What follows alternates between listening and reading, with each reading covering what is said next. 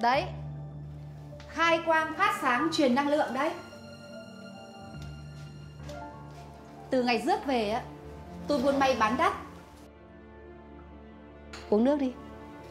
Em cảm ơn ạ.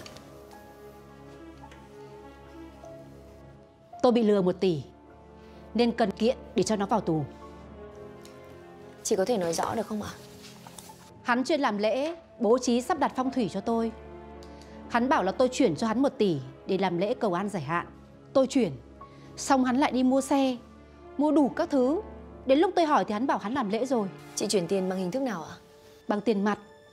Hắn nói là tôi phải chuyển bằng tiền mặt Thì nó mới linh diệu Thì nó mới làm đầy công đức của tôi.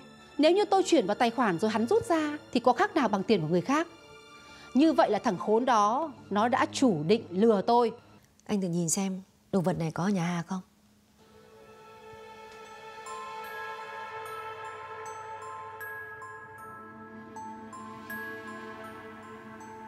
Hình như là Không. Em cần một câu trả lời chính xác. Là có hay là không? Anh cũng không nhớ chính xác nữa. Nhưng khi anh quay lại thì không thấy.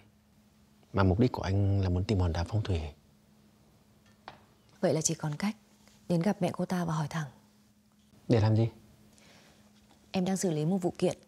Thân chủ của em cũng có con cóc. Điểm trùng hợp là liên quan đến người đàn ông tên là Thái nếu như may mắn, Thì chúng ta có thể tìm ra được bằng chứng Về vụ của anh và Hà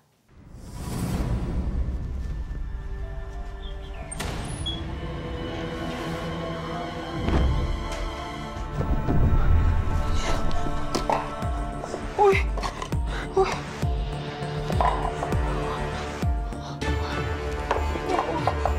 Chết rồi